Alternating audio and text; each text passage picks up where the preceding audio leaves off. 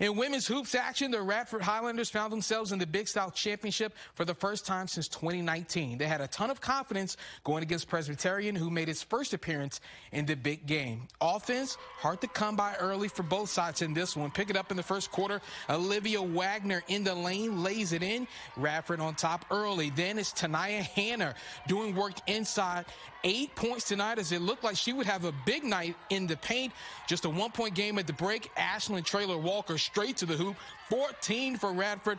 But look at Brianna Brady muscling through. Game high 21 points. The Blue Hose won't go away. Midway through the third, Paige Kenseth with the cleanup on aisle one as Presbyterian ended the game on a 19 2 run to win the Big South Championship 60 37. The first championship win in program history. Tough loss for the Highlanders struggled offensively in a big time way as much as we have in a long, long time. I, yeah, you have, you have to credit Presbyterian's defense. You know, their their matchup zone can make you think and can sometimes bog you down. But um, I think there were several stretches where we had good looks, um, but the shots didn't go. I just I got a little concerned with our lack of aggressiveness. I think we settled for threes.